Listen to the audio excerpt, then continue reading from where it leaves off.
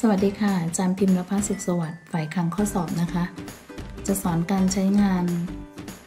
ระบบของ Cyber Exam นะคะ ซึ่งเป็นโปรแกรมสอบออนไลน์สำหรับอาจารย์นะคะ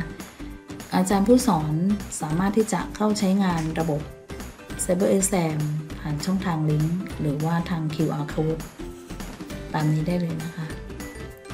เมื่อเข้ามาแล้วเนี่ยก็จะมีให้อาจารย์กด ข้อความตรงสำหรับอาจารย์นะคะแล้วก็จะให้คีย์ username และ password เข้าไป ก็จะเข้าสู่ระบบ ตรงนี้นะคะไป username กับ password นะะก็จะกลับเข้าไปในหน้าระบบ ก็จะเจอหน้าแบบนี้ ในส่วนของอาจารย์ก็ให้เลือกไปที่ฟังก์ชันสอบ final นะคะซึ่งก็จะมี ให้อาจารย์เลือกได้ 2 อย่างคือดึงคะแนนสอบ final นั้น หรือว่าจะเช็ครายชื่อการรายงานตัวเข้าสอบของนิสิตประจำวิชาที่สอนนะเมื่อ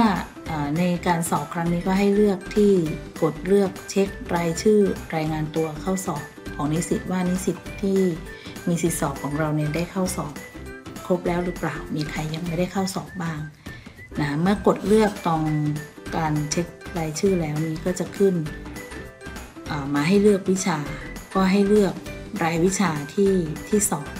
ของเรานะคะ จากนั้นก็จะมาเห็นว่านิสิตคนไหนที่กดรายงานตัวเข้าสอบแล้วบ้างนะคะ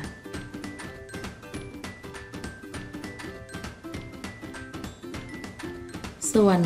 ฟังก์ชันของการดึงคะแนนสอบไฟนอลเนี่ยก็ให้มากดที่เลือกที่ตรงนี้นะคะ แล้วก็จะขึ้น คณะให้อาจารย์เลือกคณะ เลือกสาขา วิชา แล้วก็เลือกรายวิชาที่สอน ซึ่งก็จะสามารถดึงคะแนนสอบออกมาเป็นทาง Excel ได้นะคะก็จะเห็นคะแนนสอบของนิสิตแต่ละคนหน้าตาแบบนี้ค่ะ ก็เรียบร้อยนะคะสำหรับการใช้งานระบบ Cyber Exam ค่ะ ขอบคุณค่ะ